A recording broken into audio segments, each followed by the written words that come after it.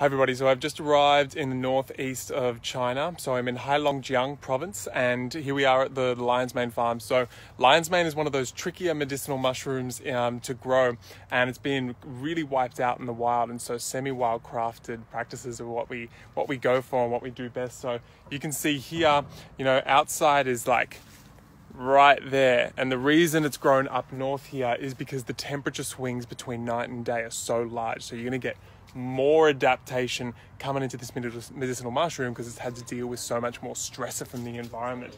Now, lion's mane is that neurological brain activating memory activating cognitive mushroom that everyone's getting such amazing results with when it comes to getting in and nourishing the grey matter, the white matter, um, even getting into the nerve endings and helping to repair damaged nerves. It's lion's mane, the one that's got like a lot of research behind it, and people are getting some amazing results with it.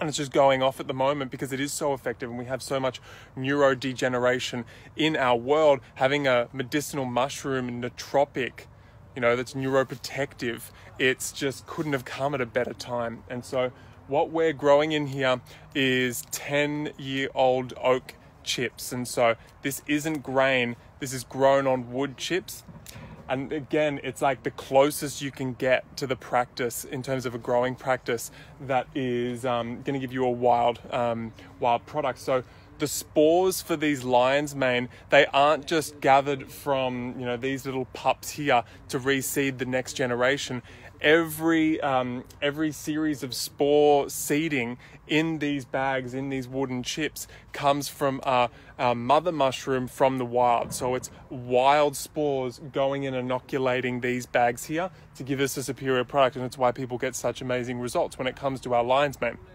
a lot of effort goes in even to the philosophy just chatting here about their process of going into the wild and finding those mother mushrooms and collecting the spores.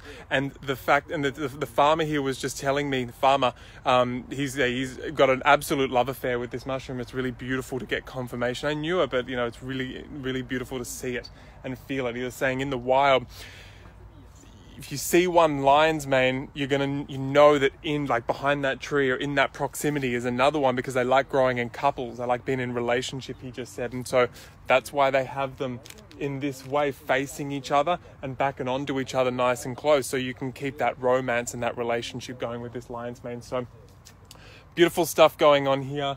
Um, next steps for me are to um, upgrade this plastic because it's like it's an absolute like you need to you need to do it in order to contain to contain the wood chips and it's not one of those mushrooms that can easily be grown on logs like others that we do.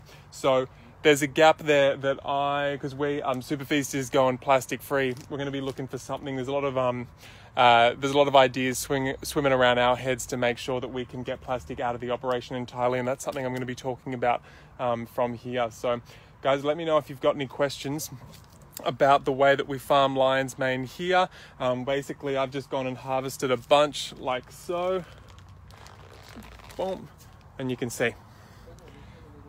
Nice, beautiful, big monkey head mushroom, lion's mane mushroom, all that brain magic, that neuro magic. I brought it into the range originally to give to my mother after she had a brain injury, and I've been taking it uh, for the last five years religiously and absolutely loving the results. And I know you guys are loving the results as well.